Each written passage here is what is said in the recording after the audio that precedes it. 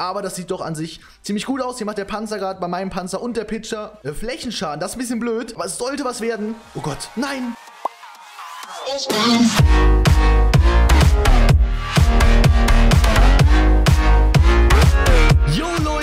was geht und ein ganz herzliches äh, Willkommen zur neuen Runde Rush Wars auf dem Kanal, Leute. Und heute im Video werden wir mal hier auf den ersten Clankrieg von meinem eigenen Community-Clan schauen. Äh, und es ist auch generell für mich der allererste Clankrieg, wo ich jetzt wirklich aktiv hier mitmache. Äh, aktuell steht es 51 zu 43 und es verbleiben nur noch 10 Minuten. Was bedeutet, dass wir diesen ersten Clankrieg sehr wahrscheinlich sogar gewonnen haben. Da schauen wir mal gleich noch drauf, wenn der vorbei ist. Und wir werden heute noch hier mein Hauptquartier upgraden. Und zwar auf Level 5. 5. Äh, falls ihr mein letztes Video nicht gesehen habt von Rush Wars, da habe ich euch das neue Update vorgestellt. Äh, müsst ihr euch auf jeden Fall mal anschauen, verlinke ich euch bei der Gelegenheit oben bei dem i, denn ansonsten versteht ihr, glaube ich, heute einige Sachen im Video nicht, weil da an sich halt auch das ganze Spielprinzip und so geändert wurde, deswegen ist das schon wichtig gesehen zu haben. Ja, ich würde sagen, wir starten aber erstmal hier in einen Angriff. Ich habe auch schon ein schönes Deck hier ausgewählt, komplett einfach mit den Tupas. Es funktioniert einfach an sich nämlich ziemlich gut. Wir schauen mal jetzt hier, dass wir den ersten Gegner finden und ich würde sagen, der sieht doch schon äh, ziemlich, ziemlich gut aus. Den sollte ich auch mit diesem Deck eigentlich komplett zerstören können. Ich hau jetzt erstmal hier den Automaten drauf, auf diese Fliegedinger, dass die schon mal weg sind. Oh Gott, das war gerade blöd, denn jetzt läuft meine, ähm, meine Kommandantin schon los. War ein bisschen dumm von mir gemacht, muss ich ganz ehrlich zugeben, aber gut, wir sollten das Ganze trotzdem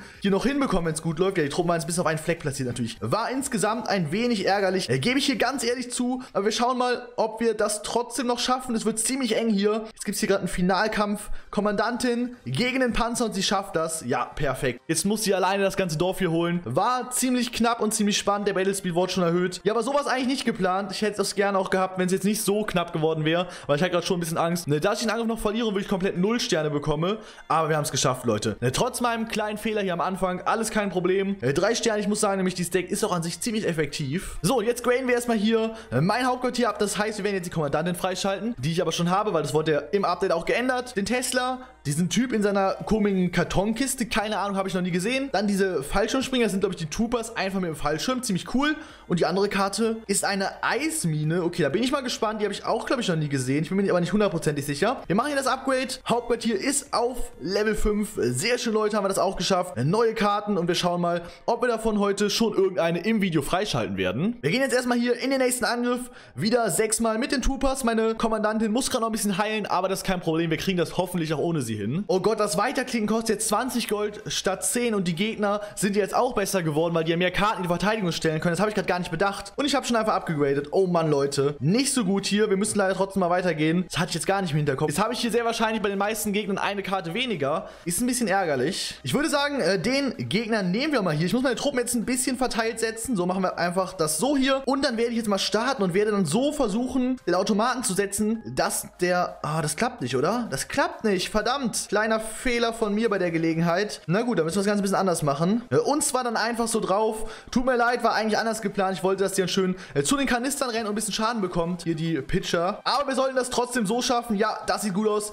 Und den Angriff haben wir schon wieder gewonnen. Ich liebe die Stack, Leute. Ich finde das einfach mega cool, weil es macht halt Spaß zu spielen und es funktioniert sogar meistens, wenn man hier den richtigen Gegner findet. So, drei Sterne. Nächste Kiste können wir wieder aufmachen. Oh, eine neue Karte erstmal. Eine New Karte unlocked. Sehr schön. Box Ninja heißt da. Okay, können wir gleich mal testen, wenn ich den dann hier gleich bekomme. Weil das ist ja nicht mehr ganz so einfach. Es wurde übrigens eine Sache im Update geändert, die ich im letzten Video gar nicht vorgestellt habe, weil ich es jetzt gar nicht gemerkt habe. Mein Bruder hat das heute gesagt. Und zwar kann man jetzt hier Kisten kaufen und nicht mehr diese Karten. Finde ich persönlich viel cooler. Habe ich sogar wirklich, bevor das Update kam, schon gesagt, dass man das doch lieber machen soll. Ich weiß, die Idee ist jetzt nichts krasses oder so, weil das ist ja eigentlich komplett logisch. Ich hatte eigentlich vor, so eine Kiste mal zu kaufen, aber 500 Diamanten sind im Endeffekt genau 5 Euro. Das heißt einfach, man würde für diese epische Kiste mit 320 Gold, 52 Karten 5 Euro ausgeben. Das finde ich ein bisschen viel. Klar, ein Commander und so ist da drin, aber naja, ich finde es einfach, wie gesagt, ein bisschen teuer. Ich hoffe einfach mal, die Preise werden nächstes Jahr ein bisschen angepasst und vielleicht werden auch mal so Sonderangebote eingefügt, wie es ja bei Clash Royale es gibt, aber ich denke, bis dahin wird es noch ein wenig dauern. So, wir schauen, was hier rauskommt. Zwei Gems, Troopers noch ein bisschen bekommen und ich würde sagen, wir starten in den nächsten Angriff hier.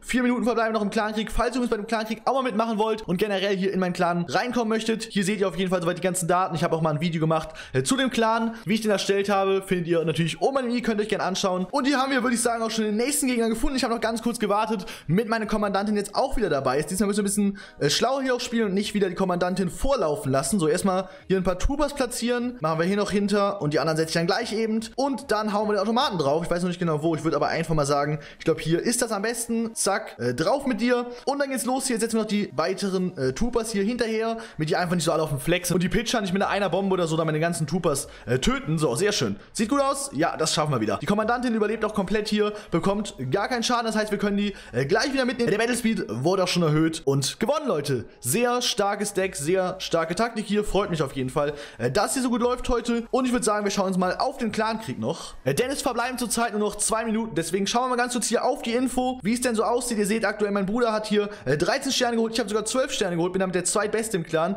Habe ich auch sehr gefreut, dass ich das geschafft habe, weil das war auch ein bisschen glücklich, muss ich sagen. Ja, und hier sind die ganzen anderen Kollegen, die mitgemacht haben. Also erstmal vielen Dank hier an jeden, der mitgemacht hat und an die Leute, die nicht da mitgemacht haben. Schämt euch auf jeden Fall, Leute. Seid aktiver, macht beim Clankrieg mit. Und ein Battle von mir schauen wir uns einfach mal eben an hier, weil das an sich ziemlich knapp war. Ich mache mal auf äh, doppelte Geschwindigkeit, mit es nicht ganz so lange dauert. Ich habe ja übrigens die Tupas gespielt, weil man kriegt immer so Karten vorgegeben am Anfang und da waren halt diese Karten dabei, die Tupas ganz viel. Und dann habe ich gesagt, komm, setzt ihr ein, ihr seht, wie knapp das war, Leute. Ihr seht es hier genau, der Minenwerfer schießt noch und jetzt haben die den so gerade abgeräumt zusammen und dann habe ich den Angriff hier schön mit drei Sternen gewonnen. Äh, das nur als kleines Beispiel, aber ich würde sagen, wir gucken uns nicht die weiteren Wiederholungen an. Das wird dann, glaube ich, auf Dauer ein bisschen zu langweilig. Live-Gameplay ist dann irgendwie schon schöner. Äh, deswegen geht es auch wieder los hier. Habe auch schon einen Gegner gefunden. Der ist zwar jetzt nicht perfekt, weil der einen schönen Minenwerfer da stehen hat, aber ich möchte es einfach ausprobieren, weil man hier so schön einen Automat draufhauen kann, dass so viele Truppen kaputt gehen. Deswegen möchte ich das gerade einfach machen. So, drauf hier und derselbe Fehler gemacht. Warum? Ich weiß nicht. Ich denke immer, ich hätte keine Kommandantin oder so und lasse die einfach loslaufen. Na gut, jetzt haben wir ein kleines Problem. Ihr seht das Ganze hier. Ja, es ist natürlich ein bisschen ärgerlich. Sogar ziemlich ärgerlich. Verdammt. Vielleicht schaffen wir es trotzdem noch. Mann, das darf doch nicht wahr sein. Mir passiert derselbe Fehler nochmal. Ich muss das äh, Best jetzt hier rausholen. Trotzdem, die Kommandantin wird auf jeden Fall im nächsten Kampf nicht mehr dabei sein. Aber wir haben schon gewonnen. Sehr schön. Aber wie gesagt, die Kommandantin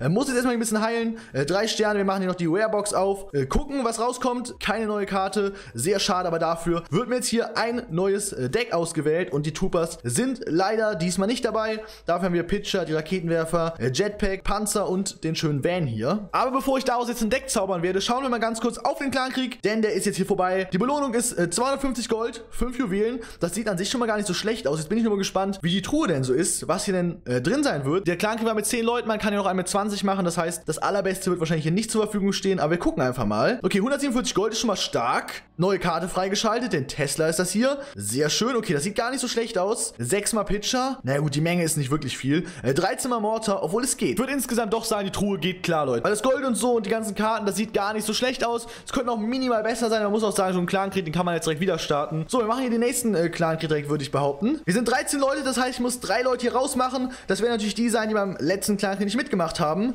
Das heißt, wir nehmen einfach die untersten drei. So, tut mir leid, aber wenn man nicht mitmacht, muss ich euch leider hier rausmachen. Dann starten wir die nächste hier und ein Gegner wird es gesucht. Wird wahrscheinlich ein bisschen dauern, weil natürlich hier das Spielzeit nur in Kanada, Australien so verfügbar ist. Das heißt, allzu viele Spieler gibt es noch gar nicht, beziehungsweise allzu viele Clans. So, ich habe hier ein neues Deck erstellt und ich weiß echt nicht, ob das so gut ist, weil gerade war ich mit dem sehr zufrieden, aber jetzt hier was Neues herzustellen, ist mir jetzt gerade ein bisschen schwer gefallen. Ich hoffe, es wird halbwegs gut abschneiden. Ich habe hier noch einen Gegner, der sieht gut aus. Ich denke mal, das ist ein Bomben oder so platziert, weil der hat schon ziemlich wenig in der Verteidigung. Aber wir gucken einfach mal. Ich stelle jetzt zweimal den Panzer hier hin. Und dahinter die Pitcher, zwei Stück. Und dann hauen wir natürlich noch hier eben mal den Automaten drauf. Diesmal nicht so früh. Und die Bombe hat sogar noch sein kleines Eichhörnchen, ist das, glaube ich, oder sein Ninja, hat das noch hier in die Luft gejagt. Wir gucken mal, ob wir das jetzt hinkriegen. Aber das sieht doch an sich ziemlich gut aus. Hier macht der Panzer gerade bei meinem Panzer und der Pitcher Flächenschaden. Das ist ein bisschen blöd. Aber es sollte was werden. Oh Gott. Nein. Panzer, du bist meine letzte Rettung. Haben null Sterne. Was war das für ein krasser Angriff aber? Muss man schon sagen. Da hat ein kleiner Typ gerade über alles entschieden. Wie krass war das denn jetzt? Ist mir jetzt egal, dass wir verloren haben. Den Angriff sich anzuschauen war einfach echt lustig, muss man sagen. Und ich gucke mal, dass ich jetzt den nächsten Gegner finde. Aber mit dem Deck ist es schon nicht so leicht. Zumindest für mich gerade. Obwohl, hier haben wir doch einen gefunden. Den nehmen wir mal. Ach, ich weiß nicht. Ja, es könnte schon schwer werden. Wir gehen diesmal aber mit beiden Panzern auf eine Seite drauf. Ach, das ist eigentlich dumm, ne? Weil die kann ich ja einfach so abräumen. Beziehungsweise zum Teil. Naja, wir machen es trotzdem mal. Mal, der Zauber bringt hier gar nicht so viel der Automat, weil die Truppen kriegen trotzdem nicht so viel Schaden. So, einfach mal drauf hier in die Mitte irgendwie. Jetzt kommen die nach vorne gelaufen, jetzt können die ganz in Ruhe, perfekt, die können ganz in Ruhe wirklich jetzt hier alles abräumen, ohne dass irgendwie der Minenwerfer währenddessen drauf schießt. Haben jetzt hier ein bisschen Schaden bekommen,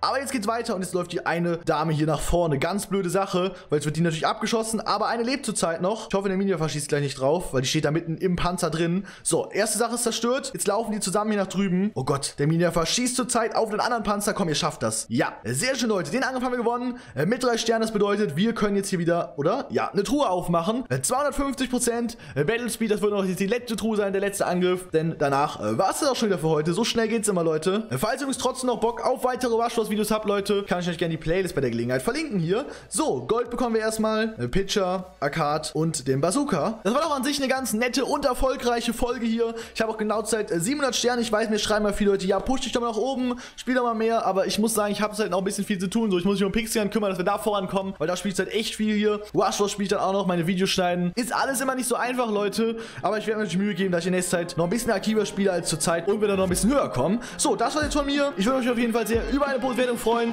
Wir sehen uns dann morgen wieder wahrscheinlich bei Runde Pix. Die ganzen Tage kommt natürlich auch wieder Washlos online. Wunderschönen Tag noch. Mach's gut. Servus und ciao.